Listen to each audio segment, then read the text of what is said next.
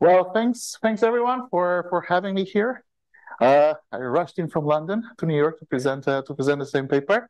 Uh, this is joint work uh, with Alfred uh, Alfred Lehar from Calgary and Christine Parlour from Berkeley, and we're going to you know delve into a microstructure problem, which is liquidity provision, and in particular how do fixed costs on decentralized exchanges like gas fees impact who provides liquidity and where. So, you know, to these audiences comes as no surprise. Decentralized exchanges are increasingly important in the crypto space, right? They trade over a hundred billion dollars each month, and with the peak that goes up to like 200 or more. And the dominant decentralized exchange is, is Uniswap. Not only are they big, but they're also quite liquid, at least in the pairs that matter. Right. So this is by a recent study from, from August by Kaiko, showing that for you know USDC against against ETH, depth on Uniswap around the, the midpoint is you know an order of magnitude larger, like 10 times larger than on basically most centralized exchanges. So they are important. They, they have a lot of volume. They're also deep. Um, but they have one big caveat, which is the fixed cost right? Every time you trade or every time you provide liquidity on the centralized exchange, you need to pay a gas. I will argue that there are fixed costs in liquidity provision that go beyond that. And you know, this gets back to you know one of the most fundamental questions in market microstructure, going back to the 70s. How are we dealing with transaction costs in market, and what do they imply for the quality of our markets? And and Uniswap is a is a is a unique laboratory to answer this you know deep economic question because sort of liquidity providers are on one side, liquidity managers are on the other side, and because it was designed with transaction costs in mind, right? Originally, the V2, the Uniswap V2, was designed for passive liquidity provision, right? You just set it and forget it, just as you would do, with an ETF, because you don't want people interacting all the time with the blockchain. This sort of changed a couple of years back when Uniswap moved to V3, where you know you can set price range for your position and managing liquidity has become costly. One explicit cost for actively managing your position is the gas price that you have to pay every time you interact with Ethereum, even layer two chains. Uh, a second more subtle cost, if you want to take a step back and you think, oh, these markets are really designed for liquidity providers to to interact with for retail liquidity providers to be on these markets. Well, these guys are not professional, right? So they're, you know, fixed costs in terms of the time you need to spend to monitor the market, the effort, the know-how to have, you know, the steep learning curve, right? So it's not just gas fees, it's fixed costs from a broad perspective. Uh, how do DEXs work? I'm sure everybody in this audience is already familiar. You have on the one side of the market liquidity providers, and these guys will mint or add liquidity to a pool, right? Usually they will add both tokens. If you want to trade dollars against ETH, you will put a quantity of, of, of, of both on the liquidity pool. And when you do, you put in a gas because that's basically paid to the to the network, to the validators. And when somebody wants to trade, right? Let's say they want to buy ETH, they will swap in, they will put ETH in the pool. Sorry, if they want to buy ETH, they will put dollars in the pool, they will take ETH out, they will also pay a gas cost to the validator, and they will also pay a liquidity fee to the liquidity provider, which sort of stands in for, you know, essentially the spread to compensate for adverse selection, to compensate for inventory risk, and to compensate for the gas cost. And every time liquidity providers need to update, they have to they have to pay that cost. And the fixed cost of supplying liquidity, the gas fee for a mint transaction, right, is quite substantial economically. So here we're plotting over time the uh, average of the, the cheapest 1,000 mint transactions on, uh, on the Uniswap V3. And you can see that, you know, costs could easily have exceeded 100 bucks back in the day. Now they are a bit lower, they're like five, six dollars, but they can spike when there's like a big event like the Luna collapse or, whatever stablecoin uh, would would depict. So this is Sorry? Units are dollars? Yeah, units are dollars. So this is not trivial and you know it's time varying. You have a lot of time variation in, in, in the fixed costs. The fixed cost is fixed because it doesn't depend on the quantity you're putting in, but because it's fixed over time. And why would you need to actively manage liquidity? Well, because Uniswap free allows you to sort of set the prices in between you're willing to trade. And when, you know, news happens and the true fundamental value sort of moves out of this range, uh, you want to sort of move your liquidity provision. Otherwise, you're not earning any fees. So active management is more of a core of V3 than it was, for example, with V2. What Uniswap did when they moved to V3, they said, okay, every asset pair can be traded in one of four pools with a liquidity fee of 1, 5, 30, or 100 basis point. And at the time, the thinking of Uniswap was, well, you know, every pair is going to converge to one particular fee level that's more appropriate for that. Like stablecoin, stablecoin pairs would go because they have very little volatility, very little risk. They will go to the one basis point. Something that's trading between two unknown tokens uh, that has a lot of risk might go to 100 basis point. So the idea is Pending will consolidate. What do we observe in practice? We observe a lot of fragmentation, especially for the big pairs.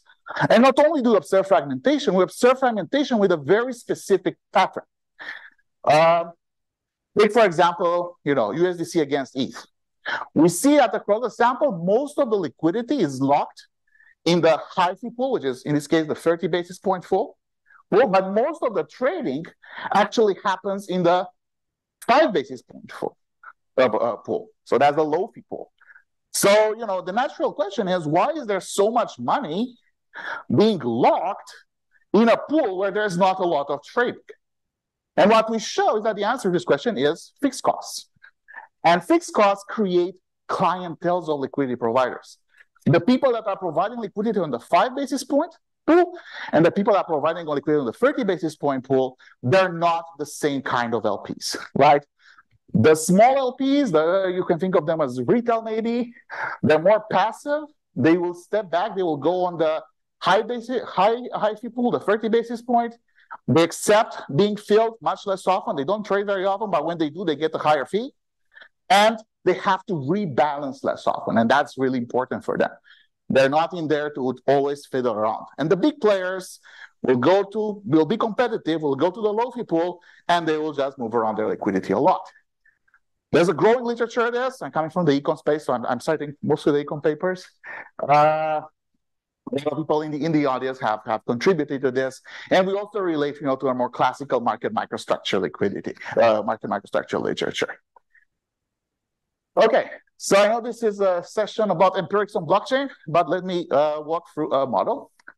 We have a very simple model. There's only one token, uh, expected value V, trades on two liquidity pools, uh, fees high and low, they're both positive. We abstract from any sort of like AMM pricing curve. It's constant value, linear pricing curve. Uh, price is fixed. We don't care about that in this particular paper. And every time you interact with the pool, you have to pay a gas fee, a fixed cost gamma. And we have a continuum of liquidity providers. And these liquidity providers have heterogeneous endowments.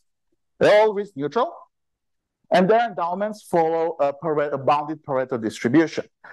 What does it? What that's try to capture?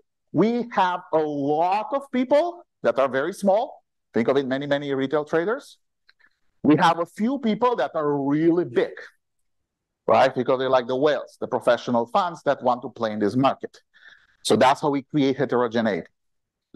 On the other side of the market, you have liquidity traders. These two come in two particular flavors. You have a flow of small liquidity traders. These guys arrive at a constant rate, theta. They're very small. They can't really impact the market themselves. They will optimally go to the low fee pool, right? That's where their, their cost of transacting is the lowest. From time to time, with a Poisson process with intensity lambda, you get a huge trader. That your trade, that huge trader will basically consume liquidity on both pools. That leads to the creation of liquidity cycles. Right? Look at the low fee pool. You can have a liquidity cycle where small traders are coming continuously. Then they sort of deplete the pool and people have to rebalance.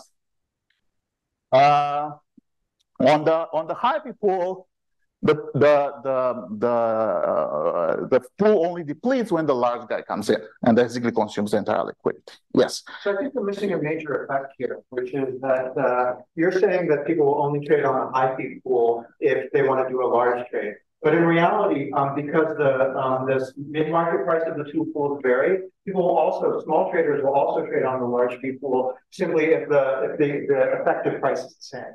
And in fact, because there's order routers, order routers optimize this, right? So I'm, I'm wondering how you can sort of talk about this without thinking about the mispricing, the relative mispricing between the two. Um, that's so. In reality, this will depend on on the equilibrium supply of liquidity on both pools that will determine the the the, the, the price impact you're having. Um, point is the mid prices are, are going to be different, right? So if I have a five basis point pool and a 30 basis point pool, and suppose I'm buying that the mid price on the 30 basis point pool is 25 basis points less, they'll both look the same. Are you talking about mid, mid prices or talking about the price impact if you're just trying to work the order? So let's say I'm a very small trader and I'm going to have these two pools as an option, and the spot price on the 30 basis point pool, excluding fees, is 25 basis points less, right? Then my effective price on both these pools is the same. Okay. And if I add five basis points to one and I add 30 basis points to the other, I get the same price, right? Okay. So I guess my point is that small traders will also trade on the on the big pool because you're not accounting for the fact that the I, I see. Could be we, we don't see that much divergence in prices empirically. And we do see empirically that the distribution of trades sort of fits what we have here. Like most of the small trades go on one and maybe some trades, the big trades go on the other. So I, I see what you mean. Um, that can happen. It doesn't happen very often. It could happen that the price impact, that the total cost of working the order is such that you might want to, depends on the liquidity supply. Maybe we can pick it off. Yeah, yeah, yeah.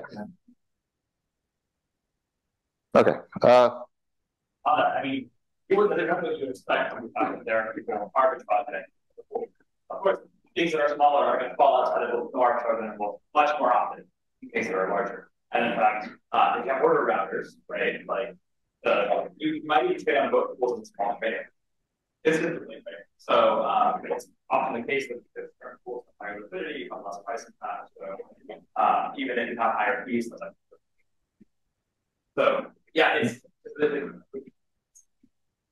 right because um, the following two problems are equivalent under no transaction fees, which is uh, you provide liquidity onto kind of a bunch of small pools right? Or you provide liquidity into one big pool, which is probably why you don't see price consolidation except for, or sorry, uh, liquidity consolidation, except for this like one small thing, which is gas fees.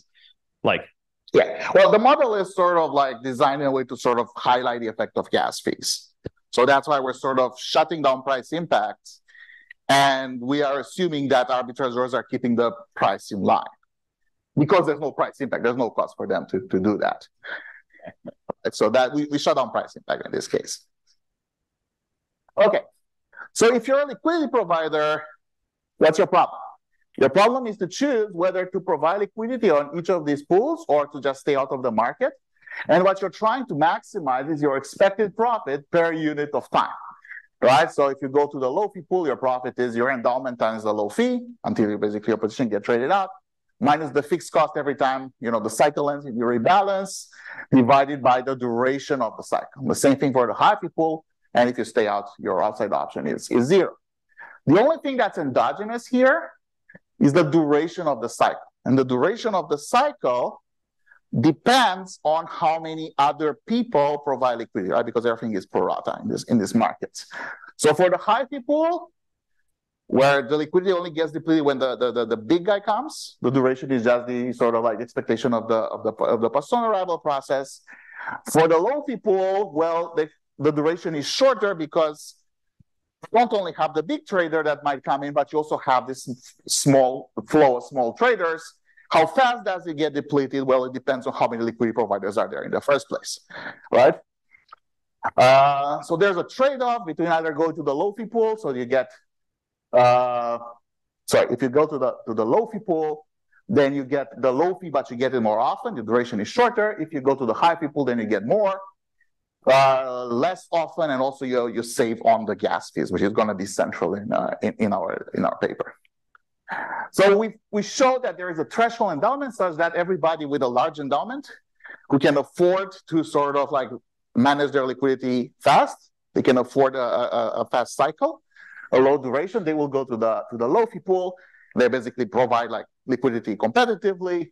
And everybody that's small enough and they really want to save on the fixed cost, uh, they will go to the high pool and accept being executed less often. And the marginal trader solves this uh, this equation here. It's a very ugly equation, but it only has one one solution. Okay, so that's sort of the equilibrium graphically. You're going to have very, very small LPs that might stay out of the market altogether because they just can't afford to pay the, the gas fees. Small liquidity providers that will go to the high people to save on gas fees, and the big players that are going to go to the to the. I guess another modeling question is if you have a high fee versus low fee, in the high fee pool you have much less adverse selection than in the low fee, right? That's true. Is your model capturing that? The model is not capturing that, but we're looking at it empirically. And we see a two basis point sort of difference. Yes, true. In, in, in permanent loss. Well, I don't, I don't know how you're measuring it, but I mean, people have looked at like certainly the five basis point pool, and that one systematically loses money. And the 30 basis point pool also loses money, but like much more steadily, right? So I, I think the numbers are much, I mean, I don't know, two basis points on a trade, they, they lose? On a daily basis, on average. Oh, Where, yeah, that might be more reasonable, but it, but it should be that there's two basis points difference, meaning the, the low people lose two basis points more. uh, the low fee pool is two basis point less adverse selection. The low pool has less adverse selection. Yeah, which I think is consistent with the fact that the small traders, the uninformed traders, will route there first. No, but it has much more arbitrage activity. I mean, empirically, that, that can't be true. I mean, I've looked at V3 and, and uh, the five basis point pool systematically uses much more. Okay, we can we can talk about it. Maybe we we measure it differently, or maybe we're controlling for for for other things. Okay, let's get to the to the data. So we collect data from the subgraph on all the trades, liquidity deposits, withdrawals for basically since inception till July, mid-July 2023, all the trader wallet addresses. We proxy the gas cost as the average of the lowest thousand daily mints across the across uh, V3. And we're we having some criteria to filter the pools. There are many pools with no sizable activity. We want pools that are active in more than 100 days within the sample, that have at least 500 events during this two-year period, uh, have an average daily liquidity balance of above $100,000, and they constitute more than 1% of volume, right? So if you have a pool with uh, 50, 49, and 1%, we're just keeping the 50 and 49. Okay, and we obtained 274 pools in 242. So you can see that most of them are actually not fragmented, but the biggest ones are. Uh, aggregate volume of these pools 1.12 billion, total value locked 2.5 billion, and these pools account for like more than 85% of everything that's going on on Uniswap. Okay, so what do we see? We see that on the low fee pool, the average mint is higher, right? They're the big liquidity providers that can just put more at once. They, they tend to go to the low fee pool. The average trade size is much higher on the high people, right? The big traders, empirically, they tend to go to the high people. And the low trader, the small traders, they, they go to the low people. The, the, the number of trades a day, there are many more trades in the low people than on the high people, right? So what does this tell us? It seems that on the low people, you have uh, many smaller trades, and on the high people, you have few large trades, right? And that's sort of in line with, with, with what the model does. Yes. So I think I guess I'm talking about the first uh, Okay. one. Yeah, a lot of uh, LPs in the small fee pool are directional traders. So basically, they create an LP position not to generate fees on the back and forth thing, but they just want to get directional execution. And it's almost impossible to trade directionally as a maker in the 30 bips pool because you have to have a very wide position and you can only position, you cannot position close to mid price because you don't want to be in the active bin. You have to be a little bit outside. So I think that that is a very, uh, at least empirically from the data Okay. I've seen, this is a very important difference in terms of the LP clientele uh, between low fee pool and high fee pool. And I'm wondering if you want to also isolate those directional traders.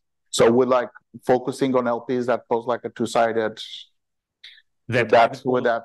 I uh, post two sided Okay. or you exclude the, guy, the, the people who use uh, very short range positions close on one side, very close to mid price, because this is what directional traders usually do. They go to the bin that is next to the active one, they use short range, and they just put a lot of uh, uh, weight into that.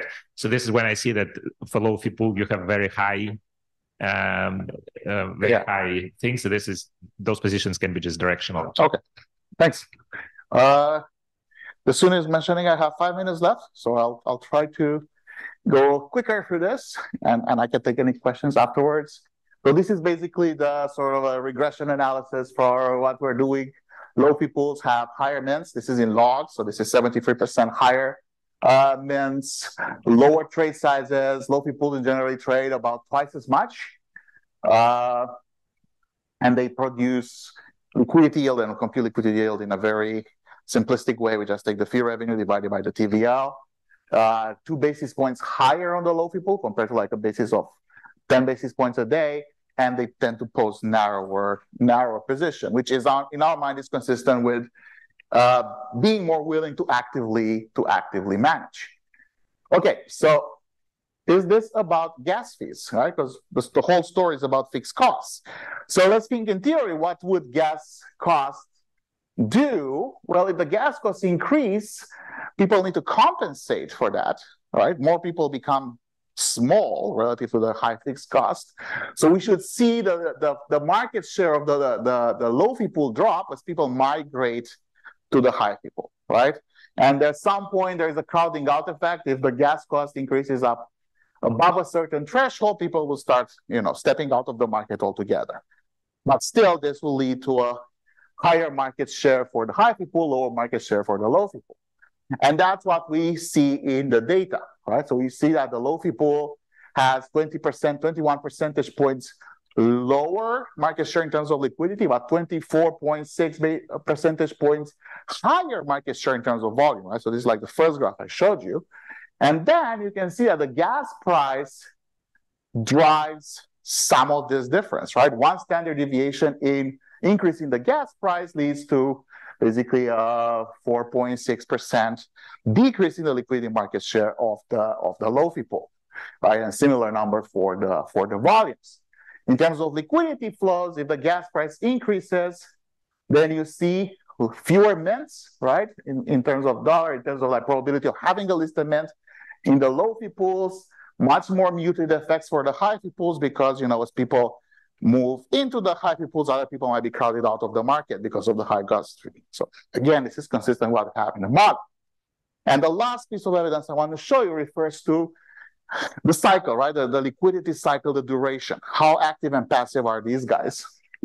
So what we see is that people on the low fee pool, they actually rebalance much more often, right? The time between a consecutive mint and the burn by the same person is much smaller on low fee pools than high fee pools. And a lot of the time, when this rebalance happens, it happens because the position is out of range, right? And that's when you, you want to you want to move around. This effect also seems to be driven by gas prices, right? At least partially. So you see that the liquidity cycle, the mean burn time is around 500 hours. So that's, I don't know, 20, $500 is like 10 days, 20 days. Uh, and on the low fee pool, that's 20% lower. And the higher gas price actually makes the cycle shorter. And why does it make the cycle shorter? Well, as gas price increases, the liquidity supply on the low fee pool drops, which means that it takes fewer trades to deplete to, to deplete that, which means that the rebalancing frequency must increase. And that's what we find here. And now there is no action on the burn to mint time, right? The time between you burn and you remint your position at a new price. Uh, that doesn't seem to be affected by the gas price. You do it pretty much immediately, 10 minutes or so. Okay. Now, in terms of adverse selection, going back, going back to your question. So we are looking at impermanent loss for a position, you know, around the current price. Uh, so we're basically just looking at the, the midpoint now, the price, the pool price now, and the pool price in one hour and we're computing the impermanent loss. And you know, if we don't control for anything, we we we get what you what you say. that the low pool has more adverse selection. But on but we think that this is sort of mechanical in some sense. Once we control, because there there's simply times where nothing happens. When we control for the the, the, the trading activity, uh, the effect flips sign. So now we can talk more about whether we should control for trading activity or not. Uh, but that, that's what I felt because if if you don't control for it, they're just empty, empty periods of time where nothing happens. Uh, so if you put everything together, I'll be just done after this. Uh, the liquidity yield, which you compute in a very simplistic manner, is about two basis points higher, two basis points a day higher in the low fee pool. The uh, permanent loss, uh, with the caveat of how we're computing it, is 2% higher on the high fee pool. So that sort of leads to a four basis point net difference in cost which we think the, the small retail traders are willing to accept because they're saving elsewhere. In particular, they're saving on the on the fixed costs. Uh, and that's what I have just to wrap up. Well, decentralized exchanges were supposed to sort of encourage passive liquidity provision. Uh, with the introduction of Uniswap v3, um, there is a need to actively manage. And we show that if you throw fixed costs in this equation, you actually have liquidity clienteles right? And what we're working on now is to see, well, this is is this a welfare cost or not, right? But you do get these two these two groups that are separate and they differ in their willingness to accept high fixed costs. Thanks a lot. I'm happy to take any questions. There's more time. Yes. Uh, did you look at the, any of the roll-ups by any chance that also have AMMs like Uniswap? Because the gas fees are a lot lower. Uh, we didn't. Uh, there is another paper by Olga Klein that looked at basically Ether pools versus Arbitrum pools. Uh, they find results that are very similar to what we would expect much more concentrated liquidity in one pool. There's not as, as much fragmentation, and all the liquidity concentrates towards the low fee pool. So that's if you want sort of like an extension if you move the gas fee lower. So we, they find it the same thing.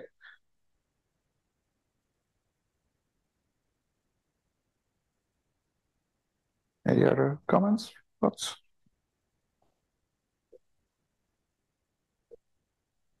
Uh, I don't